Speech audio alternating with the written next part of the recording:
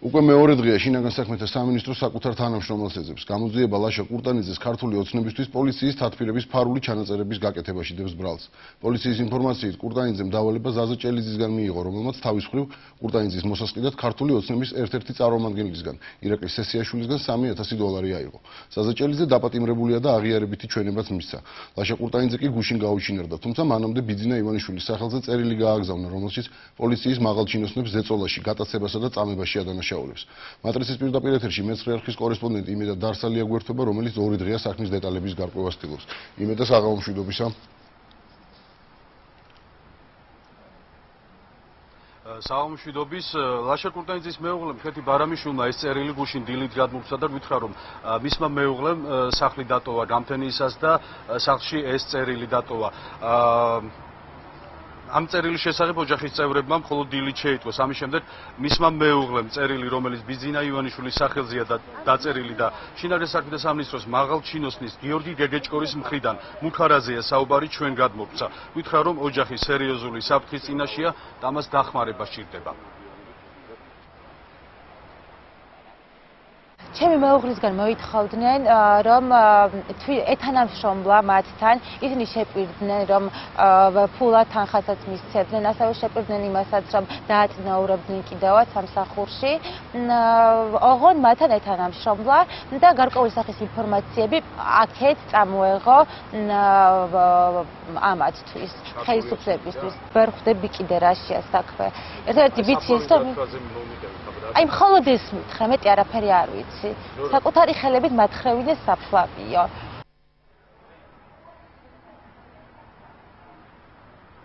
ამის შემდეგ ქეთი ბარამიშვილი ბრუნდება სახლში იქვე ტერიტორიაზე კი მეცხრე არხის კამერები მუშაობენ, რადგან იყო მოლოდინი, რომ ეს ხალბატონი დაეკავებინათ, მართლაც ასე მოხდა. კურტანძის მეუღლე სახლიდან აიყვანეს სამოქალაქო ფორმიანმა ადამიანებმა, თუმცა მოგვიანებით გაირკვა, რომ ის მოწმის სტატუსით იყო დაკავებული. მოწმე კი იმ ფორმით, რა ფორმითაც ქეთი ბარამიშვილი აიყვანეს, ამ ფორმით არ მიყავთ დაკითხვაზე. ვიჯეს ხელიდან დედა ხელის კვრის წაიყვანეს. შენი ქმარი სად არისო? მე ნამდვილად არ ვიცი სად არის ჩემი ქმარიო. ეს ბავშვი ატირებული სიცხიანი 4 დღეა ბავშვი სიცხეები აქვს ორმოცები. არა ადამიანურად თანამშრომელმა. გამოგლიჯა ხელიდან გასაღები მომეცი სახლის. ჩემს და ხელი მოკიდეს ასე და შენ აძირალაო შენ გარეწაროვო და ასე ციხლის კვრის გააგდეს მოდით კიდევ ერთხელ გადავხედოთ ლაშა კურტანიძის წერილს, სადაც ის სერიოზულ ბრალდებებზე საუბრობს. პარტიურად თავდაყირა აღენებს შინაგან საქმეთა სამინისტროს მიერ გავრცელებულ ოფიციალურ ინფორმაციას ფარულ ჩანაწერებთან დაკავშირებით. გეგეჭკორმა და მისმა ბანდიტური მენტალიტეტის ხელქვეითებმა გამიტაცეს ყვარიათიდან, სადაც ვითომ მივლინებით ვიყავი და ამიყვანეს ტყეში და მოღალატის სტატუსით ფიზიკურად გამისორდნენ.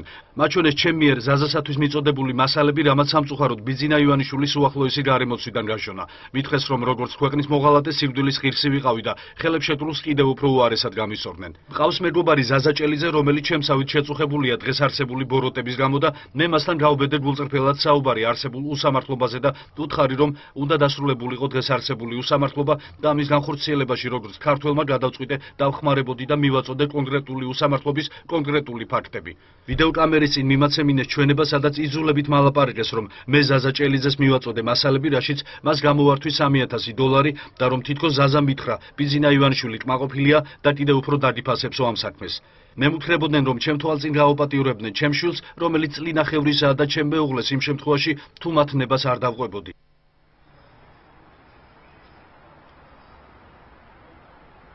ამ წერილის და ამ მუქარის შემდეგ ძნელია რამეზე ისაუბრო, მით უმეტეს რომ მუქარის ავტორი როგორც წერილშია ნათქვამი გიორგი გეგეჭკორი შინაგან საქმეთა სამინისტროს დღემდე არ დაუკითხავს.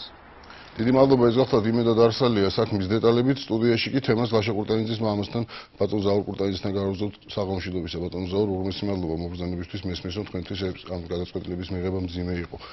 საერთოდ მაინტერესებს უბრალოდ რას ფიქრობთ თელ ამ საქმეზე? რა მოხდა თქვენი აზრით თქვენ შულს ყველაზე კარგად თქვენ იცნობთ. რამდენად წარმოგიდგენიათ, რომ მან აიღო 3000 დოლარი, აკეთებდა ფარულ ჩანაწერებს და ეს ესე ვთქვათ, შპიონად მოგვევლინა.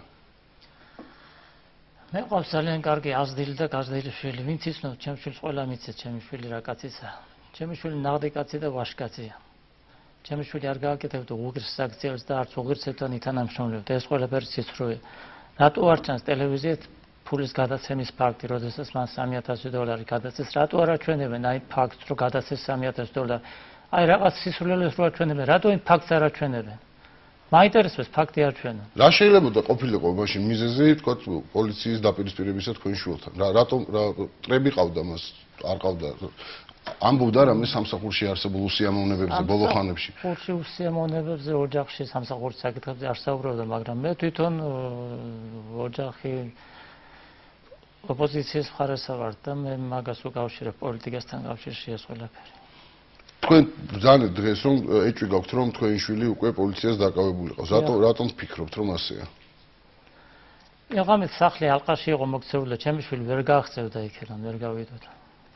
ცად ეს პოლიციაში გადაგემოწმებინათ ხო არა ყავთ იქ რაღაც ხო მიმართეთ პოლიციას მე მივედი ვიყავი რამდენიმე ადგილზე და მათმა განაცხადეს რომ არ არის ჩემი შვილი დაკავებული არაფერი ახალი ინფორმაციაც არ არის თავისთავად ხედი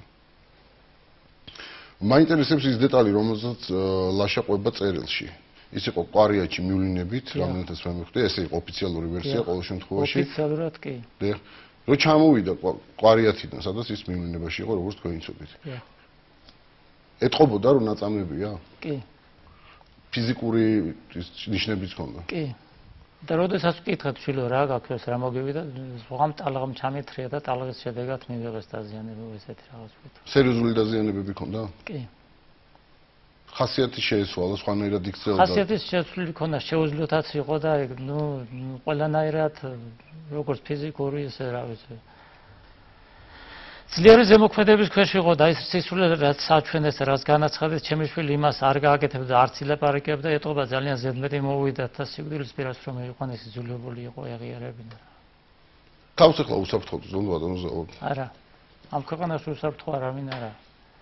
არის პოლიცია კვლავ დგას თქვენ სახთან მორიგეობაო კი მაგრამ მე არავის არ მეშინდა მე ოპოზიციის მხარესა ვარ და აქტიური ასე თუ ისე რაც შემიძლია ისეთაირად ეს ოპოზიცია და ოპოზიცია ურობა ამ ხელისუფლება მაქსიო ოპოზიციონერად მაიძულეს მათმა რომ ესეთ რაღაც გამეკეთებია. რაიმე კონკრეტული მიზეზია ამისთვის? კონკრეტული მიზეზი არის თქვენ მეუღლემ სანამ აქ შემოხვიდოდით, თხოვა რომ თქვენ გაქვთ რაღაც გაფრთხილება ხელისუფლებისათვის გადასაცემი. მე გაფრთხილება მაქვს ჩემი შვილის ხელისუფლებისათვის გადასაცემი. ჩემი ეჭვით ახლა მე ზუსტ ინფორმაციას არ ვრო ჩემი შვილი ყავს დაკავებული აი წერილი რომელიც ჩემო შვილმა დაწერდა დატოვა. იქ რაცაა მითითებული რომ ჩემ შვილს ემუქრებიან ასე უზავთ შვილს მამას დედას ოჯახის წევრებს მის შვილს ის არ შესრულდეს ჩემ შვილს ერთი ბეწვით არ ჩამოვარდეს მე არაფერს არავის არ მეშინია ნუ მომკლავენ ბოლო-ბოლო მომკლავენ ერთს მოკლავენ 10 მოკლავენ ყველას არ მოკლავენ არა თუ ყოველას მოკლევენ, მაშინ მოსაკლევები ყოფილოთ და სასიკვდილოები ყოფილოთ. ჩემ შულს ერთი ბეწვი არ ჩამოვარდს. რა ზიადის მიაყენეს და რა წარმებას მიაყენეს? პასუხი აგონკეთი ლინებონ და გამოაცხადონ იმ პოლიციელების გვარები, რომლებსაც ჩემი შვილი გატაცებული ყავდა და ფიზიკურად უსწორდებოდა. რატო არ აცხადებენ გვარებს?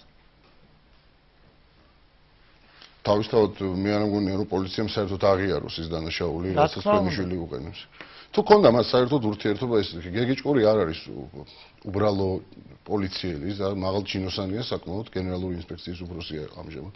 ქონდა ქონდა მანამდე ლაშა საერთოდ ურთიერთობა ესეთი დონის არა. რას ფიქრობთ როგორ შეიძლება მოვლენები გაგრძელდეს აი უსაფრთხოდ არ ზრუნავთ თავს რა საპირეთ რაღაც დაცვის როგორ ფიქრობთ რომ თავი დაიცვათ ემისგან რაც მე მიმართავ ტელევიზიას რა ვიცი ობიექტურ ტელევიზიას გააშუქოთ ეს ფაქტები და ცოტა ყურადღებით იყო და როგორღაც დამეხმარო რომ ჩემი შვილი უსაფრთხოდ იყოს. თუ ცოცხალია შეიძლება ცოცხალის აღარ არის არ ვიცი.